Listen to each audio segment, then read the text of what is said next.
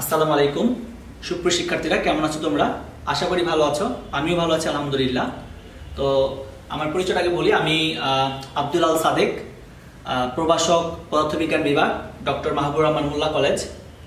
তো আমরা আজকে ডিএমআরসি অনলাইন ক্লাসে পদার্থবিজ্ঞান দ্বিতীয় পত্র শুরু করতে চাইতেছি। তো আমি প্রথমে আলোচনা করব যে কি কি অধ্যায় আমরা দ্বিতীয় পত্রে পড়ব সামনে। আর আমাদের দ্বিতীয় সেমিস্টার পরীক্ষায় দ্বিতীয় বর্ষের সরি দ্বিতীয় বর্ষের প্রথম সেমিস্টার পরীক্ষায় যে যে অধ্যায়গুলো আছে সেগুলো পড়ব। আর এরপর আমরা এই চ্যাপ্টার এই দ্বিতীয় পত্রের প্রথম যে অধ্যায় তাপগতিবিদ্যা সেটা আলোচনা করা শুরু করব আর কি। তো শুরু করা যাক তোমরা খাতা কলম না বুঝতে পারো প্রয়োজনীয় জিনিসপত্র লিখে ফেলতে পারো। হ্যাঁ শুরু করি আমরা। ঠিক আছে বিসমিল্লাহির রহমানির রহিম। তো দ্বিতীয় পত্র অধ্যায় হচ্ছে এগারোটা। এখানে প্রথম অধ্যায় হচ্ছে তাপগতিবিদ্যা হচ্ছে পদার্থবিজ্ঞানের হিটের একটা শাখা। দেন দ্বিতীয় অধ্যায়, আর তৃতীয় অধ্যায়, দ্বিতীয় অধ্যায় হচ্ছে স্থির তড়িৎ, তৃতীয় অধ্যায় হচ্ছে চলতড়িৎ, এটা হচ্ছে ইলেকট্রিসিটির পার্ট শাখা। আর চতুর্থ অধ্যায় হচ্ছে তড়িৎ প্রবাহের চৌম্বক ক্রিয়া ও চুম্বকত্ব। পঞ্চম অধ্যায় হচ্ছে তড়িৎ চৌম্বক আবেশ ও পরিবর্তী প্রবাহ, এটা হচ্ছে ম্যাগনেটিজমের পার্ট চুম্বক। আর ষষ্ঠ অধ্যায়, জ্যামিতিক আলোক বিদ্যা আলোক বিজ্ঞান সপ্তম অধ্যায়, ভৌত আলোক বিজ্ঞান অষ্টম অধ্যায় আধুনিক পদার্থবিজ্ঞানের সূচনা। আচ্ছা ষষ্ঠ, সপ্তম, এটা হচ্ছে অপটিক্স বা লাইটের পার্ট অষ্টম অধ্যায় হচ্ছে মডার্ন ফিজিক্স নবম অধ্যায়, পরমাণুর মডেল এবং নিউক্লিয়ার পদার্থবিজ্ঞান এটা হচ্ছে নিউক্লিয়ার ফিজিক্স এর পার্ট দশম অধ্যায় সেমিকন্ডাক্টর ইলেকট্রনিক্স ইলেকট্রনিক্স এর পার্ট এটা আমরা মডার্ন ফিজিক্স বলতে পারি. দেন এগারোতম অধ্যায় হচ্ছে জ্যোতির্বিজ্ঞান মানে অ্যাস্ট্রোফিজিক্স তো এই এগারোটা অধ্যায় আমাদের দ্বিতীয় পত্রে আছে, আমাদের ফাইনালে এরকম আটটা সিকিউ থাকে। প্রথম পত্রের মতোই আটটা সিকিউ থাকবে পঁচিশটা এমসিকিউ ব্যবহারিক হচ্ছে পঁচিশ নাম্বার আটটা সিকিউ থেকে যে কোনো পাঁচটা অ্যান্সার করতে হয়। এই অধ্যায়গুলো থেকে পাঁচটা সিকিউ আসবে কম্বাইন কোশ্চেনও হয় মাঝে মধ্যে। আর আমাদের দ্বিতীয় দ্বিতীয় বর্ষের যে প্রথম সেমিস্টার পরীক্ষা সিলেবাসটা হচ্ছে একটু বলি আমি। এটা হচ্ছে, প্রথম অধ্যায় প্রথম অধ্যায়, দ্বিতীয় অধ্যায়, আর ষষ্ঠ অধ্যায়, সপ্তম অধ্যায়। এই চারটা অধ্যায় আমাদের প্রথম সেমিস্টার পরীক্ষার সিলেবাসে আছে। তো এখানে এই চারটা অধ্যায় থেকে কোশ্চেন হবে আটটা। আমাদের প্রথম সেমিস্টার পরীক্ষা, চারটা অধ্যায় থেকে কোশ্চেন হবে, আর সিকি হবে? আটটা। তো যেহেতু বুঝতে পারতেছেন, চারটা অধ্যায় প্রতি অধ্যায় থেকে মিনিমাম দুটা অধ্যায় থাকার কথাই, আর এমন অধ্যায় থাকতে পারে যেখান থেকে তিনটা কোশ্চেন হইতে পারে। ঠিক আছে? সিকি হইতে পারে? তো আমরা আজকে যেটা শুরু করব সেটা হচ্ছে তাপগতিবিদ্যা বা থার্মোডাইনামিক্স তো তাপগতিবিদ্যার দুইটা পার্ট আছে। প্রথম অংশ আর দ্বিতীয় অংশ। তো প্রথম অংশে তোমার তাপগতিবিদ্যার শূন্যতম সূত্র আর প্রথম সূত্র বিভিন্ন টার্ম আছে অ্যাপ্লিকেশনস আছে, এগুলো আলোচনা করব আমরা। দেন আগামী ছয় সাতটা ক্লাস ইনশাল্লাহ আমি তোমাদের সাথে আছি।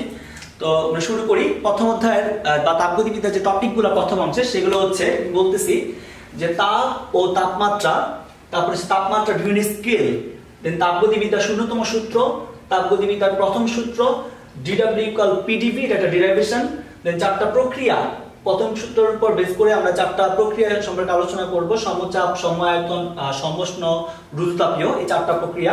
বিভিন্ন ধরনের আপেক্ষিক তাপ এই তোমার আপেক্ষিক তাপ তারপরে আপেক্ষিক সূত্র তাপ এই দুটোর সাথে তোমরা পরিচিত।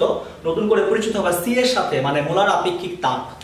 দেন আর কিছু ডেরিভেশন আছে dq সমান সমান mcp dt du সমান সমান ncp dt cp cv equal R gamma equal cp by cv then R specially আমরা করব সমষ্ট প্রক্রিয়ার এবং রুদ্র প্রক্রিয়া বিভিন্ন কাজ। এই দুটা প্রক্রিয়া সম্পর্কে আলাদা আমরা সেদিকে পড়ব। তো এই ছিল আমাদের প্রথম অংশটা। তো আমি এখন প্রথম অংশটা শুরু করতে চাইছি তাপ এবং তাপমাত্রা দিয়ে, তারপর হচ্ছে তাপগতিবিদ্যার শূন্যতম সূত্র, আর তাপগতিবিদ্যার প্রথম সূত্রের যেই যেই পড়তে গেলে যেই যে ট্রাম আমাদের জানতে হবে, এগুলো হচ্ছে আজকে আমাদের আলোচ্য বিষয় আর কি। তো তোমরা মনোযোগ দিয়ে এক পানে তাকায় থাকবা, এদিক ওদিক যাবা না ঝামেলা মানে উল্টা পাল্টা হয়ে যাবে হ্যাঁ এদিক ওদিক মানে গেলে তোমার যেহেতু ফোনে তোমরা বা কম্পিউটারে দেখতেছো, এদিক ওদিক যাওয়ার সম্ভাবনা বেশি, এদিক ওদিক যাবা না, এক পানে তাকায় থাকবা। তো আমরা তাপ তাপমাত্রা দিয়ে শুরু করতেছি হ্যাঁ। বুঝতে তাপ তাপমাত্রা সম্পর্কে তোমরা নাইন টেনে পড়ছো তারপরেও আমি একটু তোমাদের মনে করাই দিব কি কি পড়ছিলাম হ্যাঁ? তোমাদের ধারণা আছে তারপর একটু বলা আছে আচ্ছা, তাপ কি? তাপ হচ্ছে এক প্রকার শক্তি যা ঠান্ডা ও গরম বা ঠান্ডা বা গরমের অনুভূতি জায়গায় এটা তোমরা আগে পড়ছো তো বিজ্ঞানীরা তাপকে আগে মনে করতো যে এটা একটা পার্টিকেল বা একটা কণা। যেমন আলোর কণা বা স্মলেস্ট পার্টিকেল অফ লাইট এটা হচ্ছে photon smallest particle of sound এটা হচ্ছে ফর্ম মানে ক্ষুদ্রতম কণা। প্রত্যেকটা জিনিসই তো ক্ষুদ্রতম কণায় আছে, কণার সমষ্টি বা ক্ষুদ্রতম কণা থেকে কণা থেকে গঠিত হয়। এই জন্য বিজ্ঞানীরা তাপকে মনে করতো এটা একটা কণা। তো তাপের এই ক্ষুদ্র কণার নাম দিচ্ছে তারা ক্যালোরি, ক্যালোরিক সরি তাপের ক্ষুদ্রতম কণার নাম দিচ্ছে ক্যালোরিক। তো এই জন্য আগের মতবাদটা মানে বা সনাতন মতবাদটাকে বলা হয় ক্যালোরিক মতবাদ। তোমরা লিখে রাখো, ক্যালোরিক ক্যালোরিক মতবাদ। তো এই মতবাদে তাপের যে ক্ষুদ্রতম কণা, তার নাম হচ্ছে ক্যালোরি তাপের ক্ষুদ্রতম কণা, তাপের ক্ষুদ্রতম কণা, এটা হচ্ছে ক্যালোরিক। এমসিকিউতে আসতে পারে এটা, মনে রাখো, ক্যালোরিক। তো এই মতবাদ অনুসারে যে তাপের ক্ষুদ্রতম কণা নিয়ে কাজ করছে বা আলোচনা করছে ক্যালোরি, তো এটা পরবর্তীতে টিকে থাকে নাই, কারণ এটা পরবর্তীতে বিজ্ঞানীরা আবার এটা ভুল প্রমাণ করছে। তো এই মতবাদ অনুযায়ী তাপের যে একক ছিল সেটা কি? তাপের তাপের একক। এই মতবাদ অনুসারে তাপের একক, এটা হচ্ছে ক্যালোরি। তাপের একক, ক্যালোরি, আমরা প্রকাশ করি সাংকেতিক ভাবে এটা সিএএল ক্যালোরি। তো এখানে এক ক্যালোরি বলতে কি বোঝায়? একটা সংজ্ঞা মাঝে মধ্যে আসতে পারে। এক ক্যালোরি, তোমরা লিখে রাখো, আমি মুখে বলব। এক ক্যালোরি। এক গ্রাম এক গ্রাম বিশুদ্ধ পানির ভর, এক গ্রাম সরি এক গ্রাম বিশুদ্ধ পানির তাপমাত্রা এক সেলসিয়াস ডিগ্রি বৃদ্ধি করতে যে পরিমাণ তাপের প্রয়োজন, তাকে বলা হয় এক ক্যালোরি। হ্যাঁ আমি আবার বলতেছি, এক গ্রাম বিশুদ্ধ পানির তাপমাত্রা এক সেলসিয়াস ডিগ্রি বৃদ্ধি করতে যে তাপের প্রয়োজন বা যে তাপশক্তির প্রয়োজন যে তাপের প্রয়োজন, তাকে বলা হয় ক্যালো, এক ক্যালোরি। তো এক এক ক্যালোরি এটা এখানে আমি সংজ্ঞাটা যখন বলছি, তখন আমি বলছি যে এক সেলসিয়াস ডিগ্রি, এক ডিগ্রি সেলসিয়াস বলি না এটা বলতে পারতাম দুটার মধ্যে একটু পার্থক্য আছে কি নাই, এটা তোমরা একটু ঘেটে দেখবা যে এক সেলসিয়াস ডিগ্রি আর এক ডিগ্রি সেলসিয়াস দুটার মধ্যে পার্থক্য আছে কিনা ঠিক আছে? তো এখানে এই এখানে এই পর্যন্তই থাকল ক্যালোরিক মতবাদটা। দেন আমরা আধুনিক যে মতবাদ, যেটা এখন কাজ মানে নিয়ে আলোচনা করব আমরা, বর্তমান যে আধুনিক যে মতবাদটা, সেটা বলি। সেটা হচ্ছে তোমার গতীয় মতবাদ। গতীয় গতীয় মতবাদ। এটা হচ্ছে আধুনিক মতবাদ হ্যাঁ আধুনিক। তো পরবর্তীতে বিজ্ঞানী রামফোর্ড, তারপর হচ্ছে জুল তারা অনেক অনেক পরীক্ষা করছে। অনেক পরীক্ষা করে দেখছে যে আসলে এই ক্যালোরি মতবাদটা ভুল। এটা আসলে কোনো কণা না, এটা একটা শক্তির, যে যান্ত্রিক শক্তির একটা রূপ। যেমন একটা বিভিন্ন শক্তি যান্ত্রিক শক্তি এক শক্তি থেকে আরেক শক্তি রূপান্তর করা যায়। বিভিন্ন শক্তিকেই আমরা একটা শক্তি থেকে আরেক শক্তির রূপান্তর করতে পারি। এরকম তোমার তাপ শক্তিও কি যান্ত্রিক শক্তির একটা রূপ। যেমন, গতিশক্তি থেকে তাপ শক্তি কনভার্ট হতে পারে, রূপান্তর হতে পারে, আবার বিভব শক্তি থেকে তাপ শক্তি কনভার্ট হতে পারে হ্যাঁ? যেমন আমি যদি একটু এক্সাম্পল দিই, যেমন আমি আমার এই হাতের সাথে হাত যদি ঘষি, তাহলে তাপ উৎপন্ন হইতেছে। তাহলে এখানে কি যে, এই যে শক্তি আমি ব্যয় করতেছি, এটা তাপ হিসেবে আমি পাইতেছি। দেন আবার আমি যদি বলি যে ড্রিল মেশিন দ্বারা কোনো কিছু যখন ড্রিল করতে যাব, সেখানে দেখা যাবে যে, তাপ উৎপন্ন হয়। তার মানে ড্রিল মেশিনের যে যান্ত্রিক শক্তি এটা তাপ শক্তিতে কনভার্ট হয়েছে আর কি। তো এটা আসলে একটা শক্তি। তো তাপ এক প্রকার, তাপ একটি তাপ একটি শক্তি, যা দ্বারা যা দ্বারা যা দ্বারা কাজ সম্পাদিত হবে। কাজ কাজ সম্পাদিত কাজ সম্পাদিত হবে। তবে আরও লিখে রাখতে পারো যে তাপ দ্বারা যেমন কাজ হবে, তাপকেও এক শক্তি থেকে আর শক্তি তাপ শক্তি অন্য শক্তিতে কনভার্ট করা যাবে, অন্য শক্তি থেকে আবার তাপ শক্তিতে আসা যাবে। ঠিক আছে? এই, এ ধরনের আমরা আরও পরবর্তীতে ম্যাথও করব যে বিভিন্ন কনভার্সন এটা নিয়ে ম্যাথ করব। ঠিক আছে? তো এই মতবাদ অনুসারে, এই মতবাদ অনুযায়ী তাপের একক হচ্ছে, এই মতবাদ অনুযায়ী তাপের একক তাপের একক তাপের একক হচ্ছে জুল এটা সংক্ষেপে আমরা সাংকেতিকভাবে প্রকাশ করব যে দেয়া হ্যাঁ তো জুল এটা হচ্ছে এসে একক হ্যাঁ আধুনিক একক বর্তমান যেটা জুল মানে তাপশক্তির একক জুল আর আগে এককটা ছিল সিজিএস বলতে পারে আগেরটা সেটা হচ্ছে ক্যালোরি। তো জুল আর ক্যালোরির মধ্যে একটা সম্পর্ক আছে, সেটা লিখি। এর এমসিকিউতে আসে ওয়ান ক্যালোরি ইকুয়াল হচ্ছে কত? 4.2 joule. One calorie equal 4.2 joule. তোমরা লিখে রাখবে অবশ্যই। ওয়ান ক্যালোরি ইকুয়াল 4.2 জুল হইলে 1 জুল সমান কত ক্যালোরি এটাও বের করে দেখে রাখবে এমসিকিউতে আসে। তো এটা দ্বারা কি বোঝে আসলে? One calorie four point two joule তারা বোঝায় যে আমি যদি ফোর পয়েন্ট যদি ফোর পয়েন্ট টু জুল যান্ত্রিক শক্তি কাজ করে তাহলে সেখানে এক এক ক্যালোরি তাপ উৎপন্ন হবে ওয়ান ক্যালোরি তাপ উৎপন্ন হবে, ঠিক আছে? এই ছিল তাপ তাপ নিয়ে মোটামুটি কথা দেন আমরা শুরু করব তাপমাত্রা নিয়ে, ঠিক আছে? তাপমাত্রা। তো তাপমাত্রা জিনিসটা কি? তাপমাত্রা হচ্ছে তাপের একটা, তাপের অবস্থা তারপরে তাপীয় অবস্থা প্রকাশ করে। তাপমাত্রা। তো তাপমাত্রা হচ্ছে কি বস্তু তাপীয় অবস্থা। তো এখানে আমি যদি বলি তাপমাত্রা এমন একটা প্রপার্টি বা এমন একটা বৈশিষ্ট্য যা দ্বারা বোঝা যায় আসলে যে তাপের প্রবাহ কোন থেকে বা কোন বস্তু থেকে কোন বস্তুতে হবে, এটাই বোঝা যায়। হ্যাঁ তো যেমন এটা বোঝার জন্য বলা যায় যে পানির প্রবাহ পানির প্রবাহ কোন দিক থেকে কোন দিকে হয়। যেমন আমি যদি বলি একটা এটা একটা এ ট্যাঙ্কি আর একটা ট্যাঙ্কি হচ্ছে বি ট্যাঙ্কি তাহলে কানেক্ট করা, এখানে একটা চাবি আছে। ঠিক আছে? তো এ ট্যাঙ্কিতে পানি আছে বি ট্যাঙ্কিতেও পানি আছে। তো এ ট্যাঙ্কিতে পানি আছে সাপোজ মনে করো বিশ লিটার, ধরো। আর বি ট্যাঙ্কিতে পানি আছে এইটি লিটার। কিন্তু এ এই ট্যাঙ্কির পানির হাইট বি ট্যাঙ্কির পানির থেকে কিন্তু বেশি। তো পানি কোন থেকে কোন দিকে প্রবাহিত? যদি চাবিটা খুলে দেই। তো পানি কি এ ট্যাঙ্কি থেকে বি ট্যাঙ্কিতে যাবে না? বি ট্যাঙ্কি থেকে এ ট্যাঙ্কি যাবে। তোমাদের আমি কোশ্চেন করি, তোমরা বলবা যে এ ট্যাঙ্কি থেকে বি ট্যাঙ্কিতে যাবে। কারণ এখানে যার উপর ডিপেন্ড করতেছে পানির প্রবাহটা, সেটা হচ্ছে পানির প্রেসার বা হচ্ছে হাইট ঠিক আছে? এরকম তাপ কোন বস্তুতে কোন বস্তুতে যাবে, সেটা ডিপেন্ড করবে যে তাপমাত্রার উপর। হ্যাঁ? এখানে যেমন ডিপেন্ড করছে কিসের উপর? হাইট বা প্রেসারের উপর। কতক্ষণ পর্যন্ত পানির প্রবাহ হবে? যতক্ষণ না পর্যন্ত এই দুই পাশের এই এই জায়গায় প্রেসারটা কি হয়? সমান না হয়। ততক্ষণ পর্যন্ত পানির প্রবাহ হবে। কারণ বস্তুর ক্ষেত্রে যদি বলি, একটা বস্তু এ একটা বস্তু এ একটা বস্তু বি আর একটা বস্তু, একই উপাদান, একটা বড় বস্তু হ্যাঁ? এটাকে আমি হিট দিতেছি, এটা হিট দিতে একসাথে। এটাকে মনে করি হিট দিলাম আমি প্রায় দশ মিনিট হিট দিলাম, আর এটাকে আমি হিট দিলাম প্রায় বিশ মিনিট হিট দিলাম আর কি। তো হিট দেওয়ার পর সরাই তারপরে যেটা হিট দিতেছিলাম সেটা সরাই নিলাম। তাইলে এখানে কোন বস্তুটা বেশি কোন বস্তুটা বেশি উত্তপ্ত হবে? এই বেশি উত্তপ্ত হবে তোমার এটা কারণ এটা বস্তুটা অনেক ছোট। হ্যাঁ, এখানে এই বস্তুটা তার তুলনায় বড়। ধরলাম তার টেম্পারেচার হচ্ছে এই জায়গায় কত? সেভেন্টি ডিগ্রি সেলসিয়াস আর তার টেম্পারেচার হবে ফর্টি ডিগ্রি সেলসিয়াস ঠিক আছে? কিন্তু তাপের তাপ শক্তি গ্রহণ করতে কে? তাপ শক্তি বেশি গ্রহণ করতে বি বস্তু।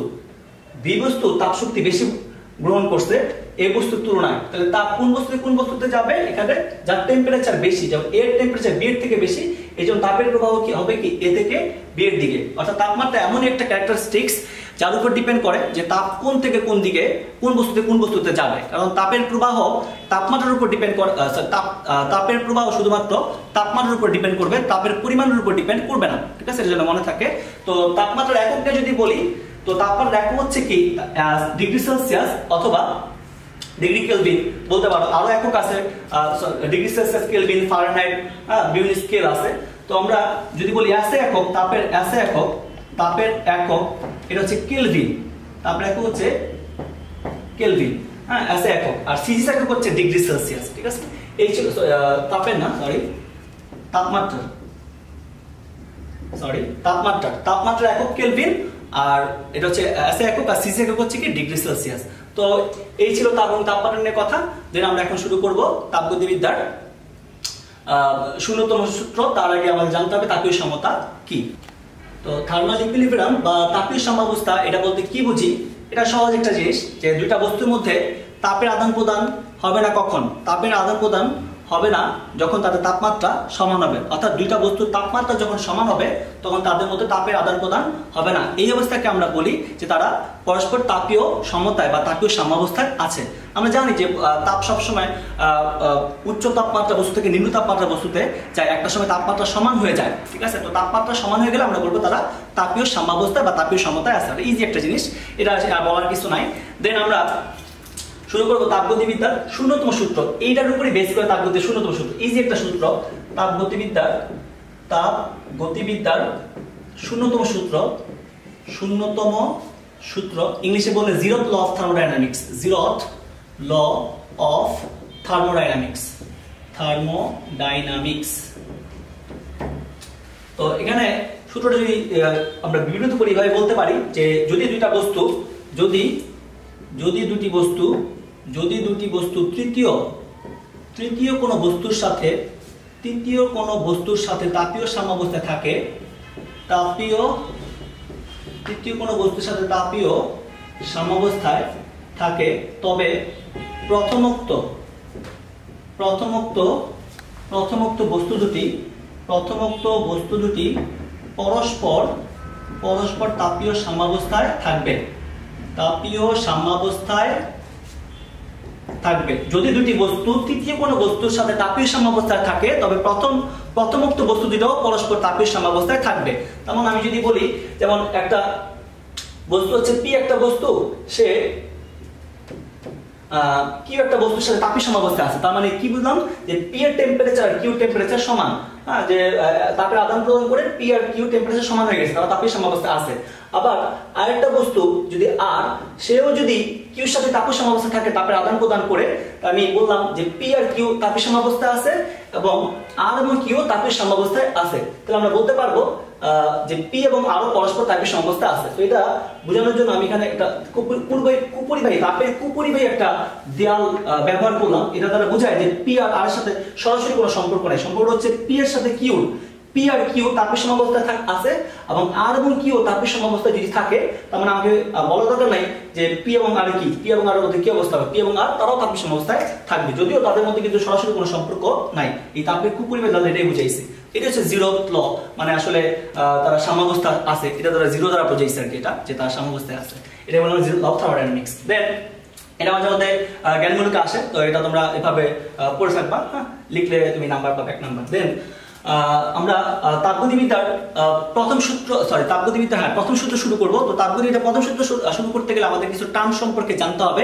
এই টার্মগুলো কি? আমি একটু বলি। এটা হচ্ছে তোমার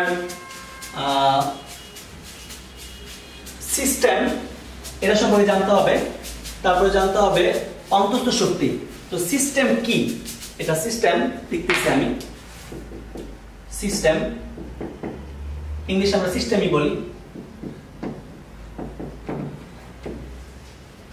তো এর সংজ্ঞা যদি বলি, এবার বলতে হবে যে পরীক্ষা নিরীক্ষার সময়, পরীক্ষা পরীক্ষা নিরীক্ষার সময়, লিখে ফেলতে পারো, পরীক্ষা নিরীক্ষার সময় জড়জগতের জড়জগতের যে অংশ বিবেচনা করি, যে অংশ আমরা আমরা বিবেচনা করি বিবেচনা করি, তাকে সিস্টেম বলে। পরীক্ষা নিরীক্ষার সময় জড়জগতের যে অংশ আমরা বিবেচনা করি, তাকে সিস্টেম বলে, ঠিক আছে? এমন আমি যদি বলি যে আমরা এই রুমে আমি, অনেক কিছু আছে, আমি একটা মার্কারটা নিয়ে কাজ করতেছি, ঠিক আছে? এটা নিয়ে আমরা এক্সপেরিমেন্ট করব। তো এই, এটাকে আমরা বলতে পারি কি? তোমার সিস্টেম যা আছে। তো এই চ্যাপ্টারে সিস্টেম বলতে আমরা কি বুঝব? এই চ্যাপ্টার সিস্টেম বলতে আমরা বুঝব যে একটা সিলিন্ডার যার মধ্যে তোমার কি? যার মধ্যে তোমার গ্যাস আছে। সিলিন্ডারের মধ্যে গ্যাস আছে। তাহলে গ্যাসটা গ্যাসটা সিলিন্ডারটার জন্য একটা সিস্টেম, ঠিক আছে? এবং এখানে আরেকটা কথা বলে রাখি যে সিস্টেমের আশেপাশে যা থাকবে, এটা হচ্ছে পরিবেশ বা সারাউন্ডিংস আমরা জানি যে একটা বস্তু থেকে তাপ আরেকটা বস্তুতে যায়, অর্থাৎ যে বস্তু নিয়ে আমি কাজ করতেছি, এটা হবে সিস্টেম ওই বস্তু থেকে তাপ যদি অন্য কোনো বস্তুতে যায়, তো অন্য কোনো বস্তুগুলো হচ্ছে তোমার কি? পরিবেশ। আবার অন্য কোনো বস্তু থেকে এই বস্তুতে তাপ আসতে পারে। কিন্তু আমি যেই বস্তু নিয়ে কনসার্ন যেটা নিয়ে আমি কাজ করতেছি সেটাই হচ্ছে আমার কি? সিস্টেম তো আমরা এই চ্যাপ্টারের সিস্টেম কথাটা অনেক ইউজ করব এটা সিস্টেম বলতে আসলে যেটা বুঝব আমরা এখানে বলতেছি যে একটা সিলিন্ডার গ্যাস ভর্তি সিলিন্ডার এই গ্যাসটা হবে এই সিলিন্ডারটার জন্য একটা সিস্টেম ঠিক আছে? এবং এর আশেপাশে যা আছে, এটা হচ্ছে পরিবেশ বা সারাউন্ডিংস যেন মনে থাকে। তো সিস্টেমের সঙ্গে আরেকভাবে বলা যায় যে যদি কোনো কোনো কিছুর যদি তোমার প্রেশার ভলিউম টেম্পারেচার তুমি যদি বলতে পারো, নির্দিষ্ট করে বলতে পারো, বা এগুলো অনুমান করতে পারো, নির্ণয় করতে পারো, তখন তুমি এটাকে বলতে পারবে একটা সিস্টেম এখানে প্রেশার ভলিউম টেম্পারেচার দ্বারা এগুলোকে বলা হয় তাপগতীয় স্থানাঙ্ক বা থার্মোডাইনামিক কোঅর্ডিনেট লিখে রাখি একটু। প্রেশার ভলিউম টেম্পারেচার এসে তিনটা মূলত আরেকটা আছে কিউ হ্যাঁ? তো এগুলো তাপগতীয় স্থানাঙ্ক মানে তার অবস্থাটা মানে সিস্টেমের অবস্থা তুমি বুঝতে পারবা, এই এই মানগুলোর মাধ্যমে আর কি, এই জন্য স্থানাঙ্ক বা কোঅর্ডিনেট বলে আর কি এগুলা। তো সিস্টেমের প্রকার আছে, সিস্টেম তিন ভাগে ভাগ করা হয়েছে, তিন ধরনের সিস্টেম আছে, তিনটি তিনটি প্রকার, সিস্টেমের তিনটা প্রকার। এক নম্বর প্রকার হচ্ছে তোমার মুক্ত সিস্টেম মুক্ত সিস্টেম মুক্ত সিস্টেম বা ওপেন সিস্টেম, তারপর হচ্ছে বদ্ধ সিস্টেম বা হচ্ছে ক্লোজ সিস্টেম, আর হচ্ছে বিচ্ছিন্ন সিস্টেম বা আইসোলেটেড সিস্টেম। বিচ্ছিন্ন বিচ্ছিন্ন সিস্টেম বা আইসোলেটেড সিস্টেম। তো মুক্ত সিস্টেম কি এক্সাম্পল দিলে বুঝে ফেলবা যে অনেক ইজি মুক্ত সিস্টেম হচ্ছে যদি আমি এই রুমের মধ্যে একটা গ্যাস ভর্তি সিলিন্ডার রাখি এবং এই সিলিন্ডারের মধ্যে যদি গ্যাস প্রবেশ করতে পারে এবং সিলিন্ডার থেকে গ্যাস যদি বের হতে পারে, তো সেটাকে বলব আমরা মুক্ত সিস্টেম তো এখানে একটা কথা লিখে রাখি যে মুক্ত সিস্টেমে সবসময় কি হবে? ভর ভর এবং শক্তি, ওই সিস্টেমের ভর এবং শক্তি দুইটাই বিনিময় হবে। ভর ভর ও শক্তি শক্তি উভয় বিনিময় করে। ভর ও শক্তি উভয়ই ভর শক্তি উভয় বিনিময় করে, ঠিক আছে, মুক্ত সিস্টেমে কারণ এই সিলিন্ডার থেকে তোমার গ্যাস বের হইতে পারবে, আবার কি প্রবেশ করতে পারে এবং তাপ শক্তিরও হেরফের হবে। হ্যাঁ এই জন্য ভর শক্তি দুটাই বিনিময় করে মুক্ত সিস্টেমে বদ্ধ সিস্টেমে কি হবে? বদ্ধ সিস্টেম যদি গ্যাস বের হতে না পারে তখন আমরা বলব বা ঢুকতেও না পারে, আমরা কি বলব সেটা সেটা হচ্ছে বদ্ধ সিস্টেম বদ্ধ সিস্টেমে ভরের ভর বিনিময় করে না, ভর বিনিময় ভর বিনিময় ভর বিনিময় করে না, কিন্তু শক্তি বিনিময় করে। তারপর আদান প্রদান করবে পরিবেশের সাথে। কিন্তু শক্তি বিনিময় বিনিময় করে। আর বিচ্ছিন্ন সিস্টেম বা আইসোলেটেড যেটা, এটা ভর ও শক্তি কোনোটাই বিনিময় করে না। ভর ও ভর ও শক্তি কোনোটি বিনিময় করে না।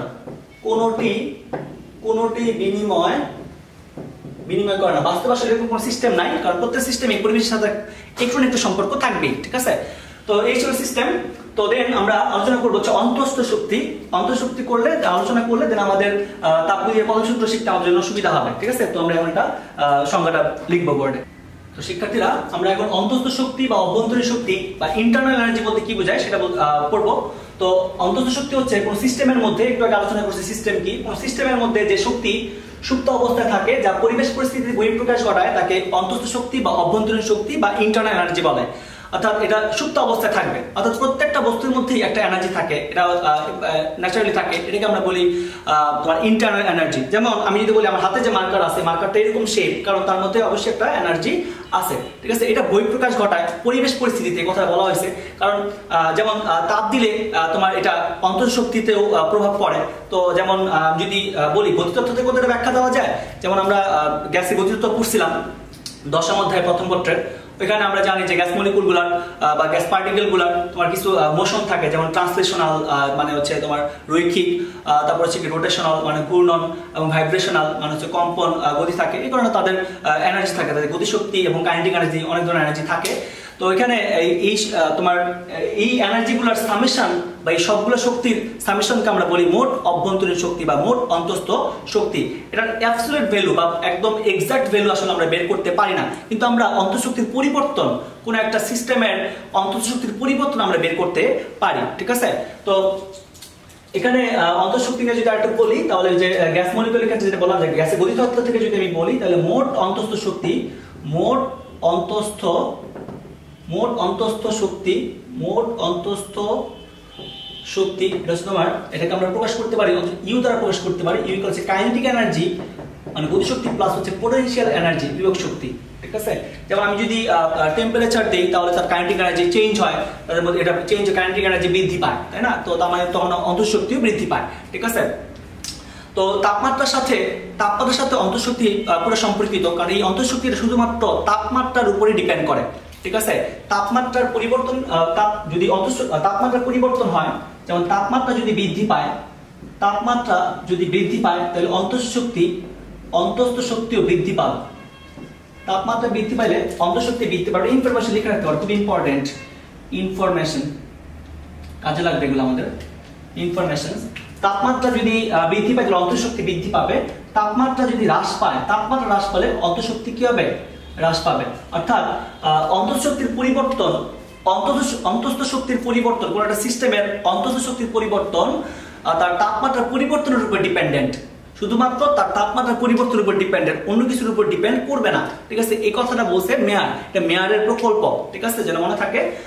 আবার বলতেছি এটা মেয়ারের প্রকল্প, শুধুমাত্র তাপমাত্রার উপরে ডিপেন্ড করবে অন্তঃশক্তির পরিবর্তনটা। ঠিক আছে? যেন মনে থাকে। এবং অন্তঃশক্তির পরিবর্তনকে অন্তঃস্থ শক্তির পরিবর্তনকে আমরা অন্তঃস্থ শক্তির পরিবর্তনকে পরিবর্তনকে আমরা ডিইউ দ্বারা প্রকাশ করি। ডিইউ ডিইউ মানে ইউ হচ্ছে অন্তঃশক্তি বোঝায়, আর ডিইউ হচ্ছে অন্তঃশক্তি পরিবর্তন। হ্যাঁ পরিবর্তন ডিইউ বা ডেলিউ লিখতে পারো। ডিইউ দ্বারা প্রকাশ করি। ডিইউ দ্বারা প্রকাশ প্রকাশ করি। আচ্ছা এখানে যেটা বললাম, তাপমাত্রা বাড়লে এটা অন্তঃশক্তি বাড়ে, তাপমাত্রা কমলে অন্তঃশক্তি কমে। তবে আর একটা ব্যতিক্রম, একটা টার্ম আছে, ব্যতিক্রম জিনিস, সেটা হচ্ছে লিখে রাখো, ব্যতিক্রম এটা।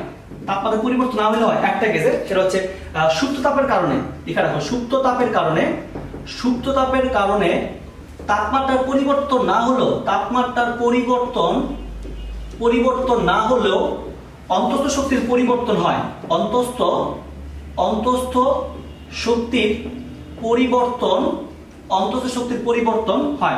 সুপ্ত তাপের কারণে তাপমাত্রার পরিবর্তন হয় না আমরা জানি। যেমন বরফ গলনের আপেক্ষিক সুপ্ত তাপ? যে এটার কারণে বরফ জিরো ডিগ্রি বরফ জিরো ডিগ্রি আইস হয়। আবার hundred degree water hundred degree বাষ্প, এটা কি কারণে? সুপ্ত তাপের কারণে। এখানে কিন্তু জিরো ডিগ্রির যেমন জিরো ডিগ্রির বরফ জিরো ডিগ্রি পানি হইতেছে এখানে কিন্তু তাপমাত্রা পরিবর্তন হয় নাই, অবস্থার পরিবর্তন হয়েছে। আবার একশো ডিগ্রির পানি থেকে একশো ডিগ্রি বাষ্প, এখানে তাপমাত্রা পরিবর্তন হয় নাই। এখানে কি অবস্থার পরিবর্তন হয়েছে? তো এখানে তাপমাত্রা পরিবর্তন না হলেও যদি সুপ্তার পরিবর্তন সরি অন্তঃশক্তির পরিবর্তন হয়, এটা একটা এক্সাম্পল এটা আমরা দেখব।